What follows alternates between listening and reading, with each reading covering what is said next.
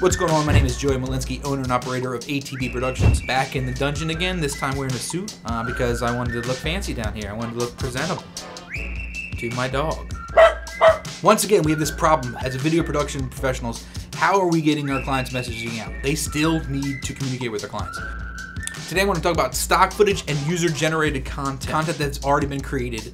As we know, there was a before COVID, there was a life we lived and we have videos of it. And even if it doesn't look good, it still is life. You know it's their personal footage. It doesn't have to be professionally shot to have an emotional connection to this. I've been pairing that with stock footage. And I know you're thinking, oh, stock, stock's gross. Stock is gross, or it was gross. Now, there's beautiful stock footage. Stock footage looks better than the crap I shoot sometimes. So it still looks professional when you mix the two and you blend in graphics. It's still professional, it still hits their quality of brand, but we aren't adding any new elements that we need to go shoot, so we're not breaking any social distancing. It's obviously been done tons of times before. Now, it's almost what we have to make. And these stock footage sites actually have a lot more COVID related content because guess what? Everybody's sitting at home with cameras and good equipment and doing nothing. So there's been a lot more created. Some good ones like this lady hoarding some TP. Oh, that's a good one. What about this mask guy? He was all right in the eyes and then that beard. Come on, can't use that. Obviously, these scientists have no idea what they're doing. We're just gonna label this bottle COVID-19. Yeah, let's just, these aren't scientists. These are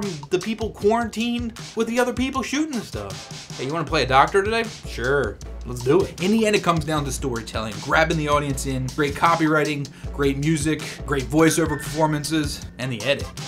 Here, I'll make an ad right now. You know just what I'm talking about. Today is different than yesterday.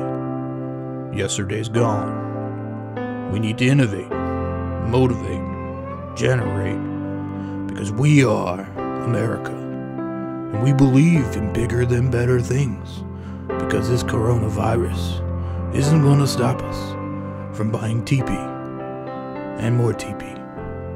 So get back out there, America. And well, don't get back out there right now. Like, wait a little bit. But um, we will get, we will eventually get back out there, America, and be the country we know we were once before this, and have. We're going to be good. I think. Please. ATBProductions.com. One of the problems with stock footage is everybody has the same stock footage. Same thing with the same music.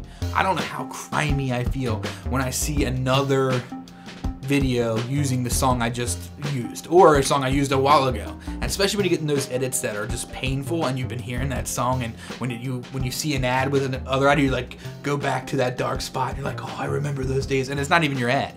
So I'm constantly looking for new stock music, new galleries. I subscribe to two of them now. And I recently found a new one that I like because it's a little more personal. It's Pleasant Pictures Club. They work for some of the big dogs in the industry and they've decided to put together a library and it's cool because you get a little personal context. So that's what I'm using for this video, but also what I'm making for my clients. I'm gonna use it because it feels a little more custom.